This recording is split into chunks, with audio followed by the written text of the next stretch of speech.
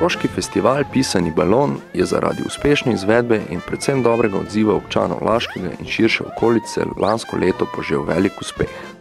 Tako smo se v Šmoclo za letošnje leto odločili, da nadgradimo in organiziramo tridnevni festival, ki je ponujal pester otroški in mladinski program. Novost letošnjega leta je bil skate park, ki sta ga Juri Šuhel in Tomaž Gorišek marljivo sestavljala na občinskem dvorišču.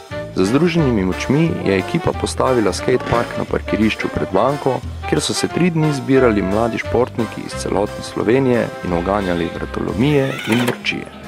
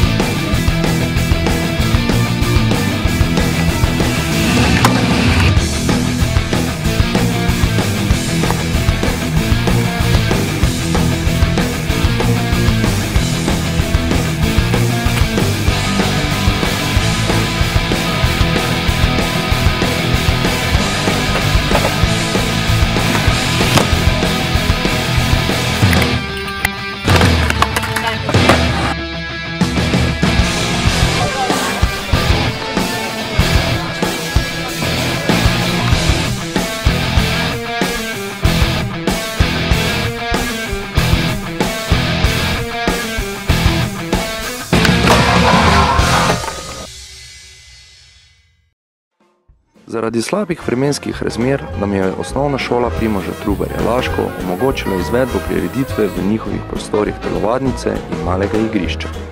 Tako je lahko program potekal nemoteno za naše najmlajše in njihove starše.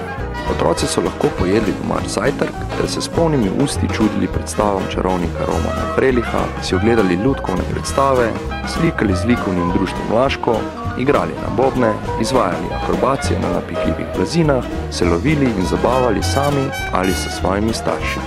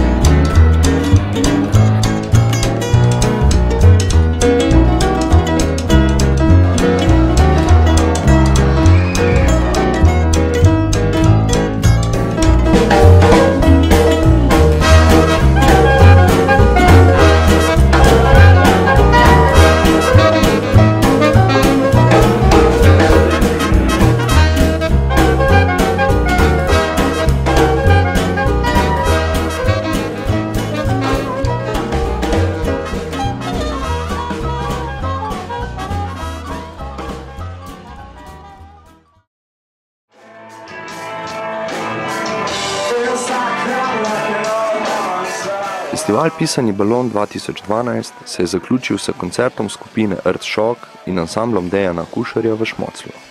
Vsem, ki letos tega izjemno zanimivega, privlačnega in zabavnega festivala niste obiskali, je lahko upravičeno žal.